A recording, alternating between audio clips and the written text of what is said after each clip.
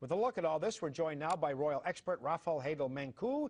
He is with Burke's, Peerage, and Gentry. What do you make of this, this debate? Is this kind of a slag against Charles? Not at all. In fact, uh, I think people have actually um, grown more comfortable with the Prince of Wales over the last few years. Uh, essentially, there's been a 15-year period in the wilderness for the Prince of Wales.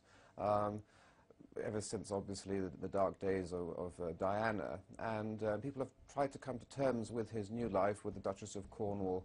And um, I think they've actually got a soft spot for him now. Because in many ways, all of the um, crackpot tendencies which people used to uh, make fun of him in the 80s, talking to plants and so forth, he's actually now seen as a bit of a renaissance man. Uh, organic farming, he pioneered the uh, talk about that, and sustainable living, the environment, education, art and architecture, multi-faith societies. I mean, these are all hot uh, phrases of today, and he was a pioneering spirit there.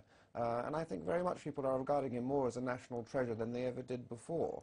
Uh, do you think perhaps his relationship with his sons has had something to do with this, too? Very much so. I mean, the Prince of Wales was always a loving father. However, he wasn't the most um, adept the, with the PR machine at the outset, uh, unlike Diana, who was always, always came across as being a very caring mother. The Prince of Wales was just as caring. He just didn't display it as much in public. But in recent years, that love and affection has really come through, and it's also been clearly reciprocated by the two boys. And I think that had a large role to play more so in Britain than in Canada. The Prince of Wales doesn't have as strong a relationship with the Canadian people as he does in Britain. Um, and I think in Canada it'll take a, a, bit more effort to actually convince Canadians. Uh, and the, the, the, fault is not just with the media uh, constantly dredging up the stories from the past, but also I think it also involves the monarchy making more of an effort to get the Prince of Wales to visit Canada more often and mm. more frequently. They will be his future subjects after all. And I think uh, the impetus is on the, the, the palace and Clarence House to actually reach out to Canadians more Is there, is there a growing movement, though, among people that they, they would like to see the rules of succession changed? Yes, very much so. 70% of people in Britain want the um, uh, succession changed so that um, a baby girl, if she is born before a, a baby boy, will become a queen, and also that Catholics should be permitted to marry the heir to the throne. I mean, it's uh, completely indefensible in the modern era, I think, to have uh, discriminatory legislation uh, preventing um, women and Catholics from succeeding to the throne.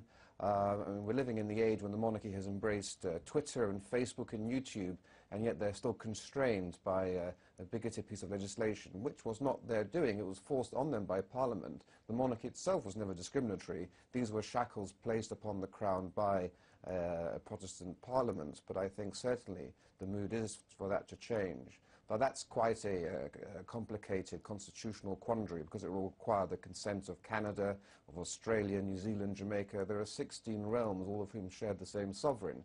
So to change the Act of Settlement uh, for the throne would require all of their consent. Otherwise, you might have the uh, nightmarish scenario where somebody succeeds to the throne in Britain, uh, but not in Canada. So you could mm -hmm. have mm-hmm. one different king for Britain and Canada if they didn't change their laws uh, multilaterally. Uh, did you so say, did you say sir, it would have to be unanimous?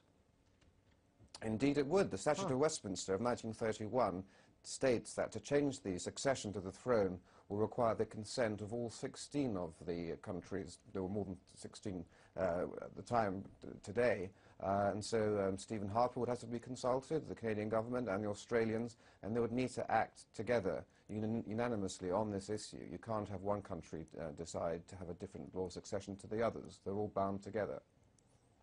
In fact, there have been discussions taking place privately uh, between 10 Downing Street and 24 Sussex Drive and uh, with Australia and New Zealand and Jamaica. These discussions have been ongoing quietly behind the scenes to try to work out a resolution to what is really an indefensible situation. And in 2002, Tony O'Donohue, an Ontario Member of Parliament, tried to challenge this in the Supreme Court. And certainly I can see a challenge coming up uh, on the grounds of the European Human Rights Convention too it just seems to me that if you were to uh, take a casual poll of, of the countries involved, it would be a slam dunk that it would pass.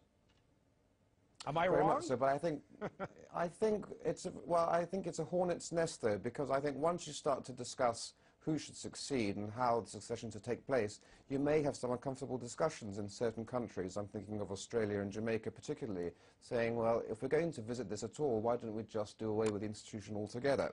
So it's a question of timing, and it's a question also of what the outcome will be. Oh. Well, sir, it's always good to talk to you. We thank you very much for your time today.